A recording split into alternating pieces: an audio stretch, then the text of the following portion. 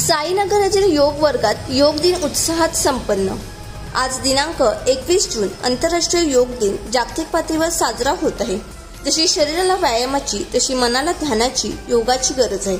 योग दिनाचे औचित्य साधून पतंजली योग समिती शहापूरद्वारे संचलित नियमित योग वर्ग श्री हनुमान मंदिर साईनगर शहापूर येथे योग साधकांच्या उपस्थितीत प्रत्यक्ष प्रात्यक्षिक घेऊन योग दिन मोठ्या उत्साहात साजरा करण्यात आला.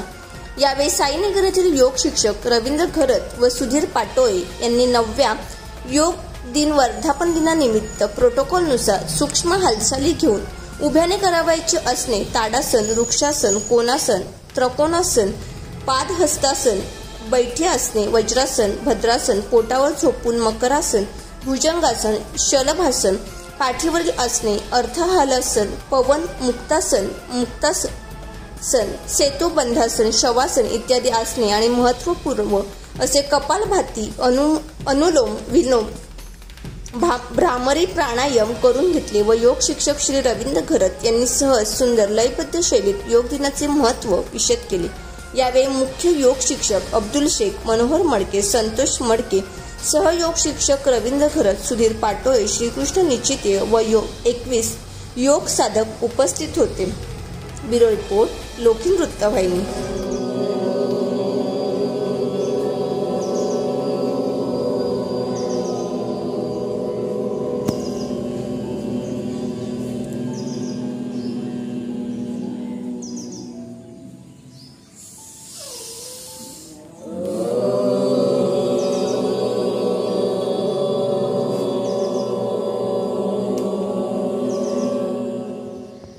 बघा आज आपल्या योगाचा जागतिक वर्धापन दिन नववा वर्धापन दिन आहे. आणि श्री गुरुवर्य रामदेवजी बाबा आणि श्रीकृष्ण सरस्वती महाराज यांच्या मार्गदर्शनाने आपल्या पुरा भारतभर योग दिवस साजरा होत आहे.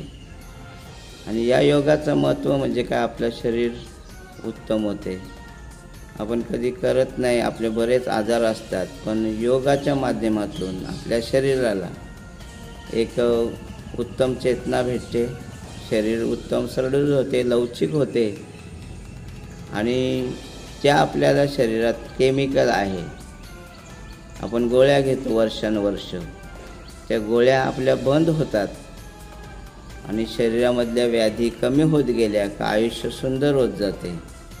या सुंदर आयुष्याला सुंदर जगायचं आहे आणि आपल्याला सुंदर जग बनवायचं आहे याचा प्रसार आपल्या सोसायटीमध्ये आपल्या ऑफिसमध्ये आपल्या शाळेमध्ये आपण आजच्या योग वर्गाचा प्रोटोकॉलचा एकवीस दिन एकवीस जूनचा सगळीकडे प्रचार प्रसार करून ती योगाचा कार्य करून जगामध्ये एक आरोग्य निर्माण करायचं आहे काय?